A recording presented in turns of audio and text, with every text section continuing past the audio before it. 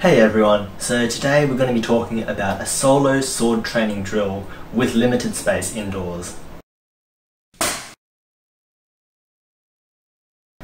So if you've been following my channel for a while, then you know that my old house had a really nice large training room, but it also had really high ceilings, so I could swing my sword around without any worry of hitting the ceiling and the walls and everything else. It just had a really nice indoor training space. But now I've moved into the inner city, so I don't have as much space. And the ceiling here, I can lift my sword up, but if I swing it, then there is a chance of me hitting the ceiling. So here's a drill that I've been doing at this new space uh, while I'm indoors. Often when I'm too tired, too lazy, it's too dark, or there's too many bugs outside to go down and train outside and do some cutting. So the drill is essentially just going through the different stances of your sword form and doing them in order and repetitively. So for me, I'm going to be using the stances of Jedokgum, which I've talked about and um, you probably see on my channel quite a lot. And so here then I'm going to go through the stances in order uh, from top to bottom and back up to top, including defensive guards and offensive guards as well. So when doing these stances then it's really important to do them slowly and to focus on your balance, your footwork and your center so that you know what you can and can't do from these stances. And transitioning between them is really important because it, when you're in battle, then trying to transition between stances on the go is something that you need the muscle memory for, and so this is a good way to do it in a slow, controlled environment. Now the stances that I do is I start with a long point mid guard and then I transition into a, central high guard in a long stance, pushing off from the back leg. Then I go into a right high guard, also in long stance, pushing off from the back leg, and then a left high guard, long stance, pushing off the back leg.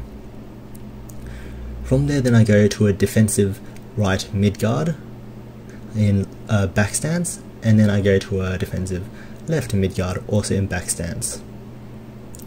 Then I transition to a low guard in long stance pushing off the back leg and then a left low guard. Then I go to the forward high guard both right and left focusing on getting a deep wide horse stance that's side on so I've got a good balance and then I go back to my long point mid guard and I start it all over again.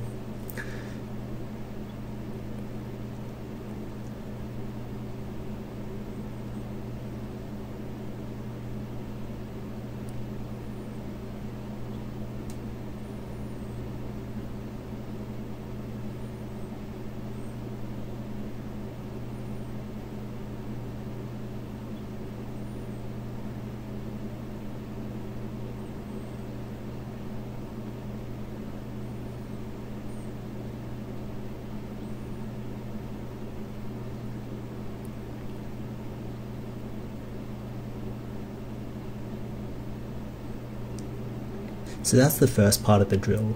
The second part of the drill is about cutting from those guards.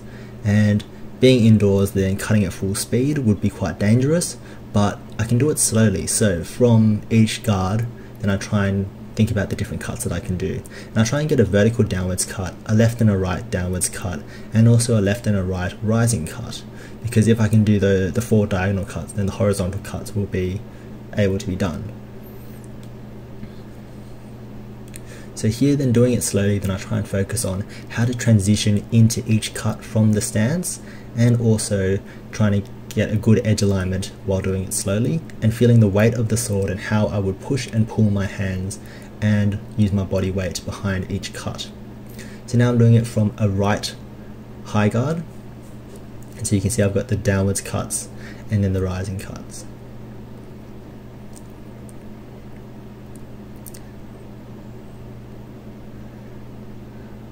Now it's really important to return back to the guard after each cut so that you've got a good form from the cuts. And so from here then it's also important to practice the defensive guards. So here I'm doing the defensive right mid guard and trying to get transition into cuts from there. And this is really important because you want to be able to parry and then go straight into an attack. So visualizing the block and then how to transition into the attack for different openings is very important. Now, these are the cuts of Jerakgum and the stances and guards of Jerakgum. So, like I said, this is how I've been trained, but you can use whatever stances, whatever cuts work for your sword form and however you've been trained. But the main thing is trying to create versatility from each stance and trying to get a good center and base so that you feel balanced and you can transition from any stance into any cut and back into any stance.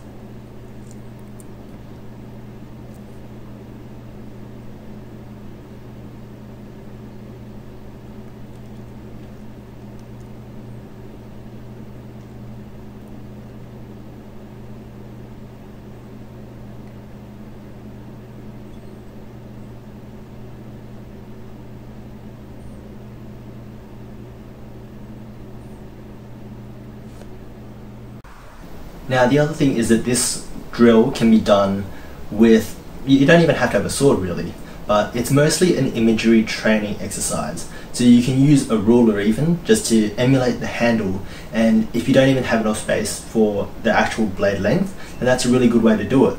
And you just got to really focus on your stances and visualizing what you would be doing from each stance. And also after that then practicing the cuts with good edge alignment and also thinking about how you would transition from the stances into the cuts. So I hope this was a really helpful video for people who, like me, have not got a great training space indoors. Maybe you might have enough room to reach your sword up but can't swing it, or maybe you don't even have enough room for that, and then the ruler exercise becomes a really useful tool for you. Either way, hope that was helpful, and with that, I'll see you next time.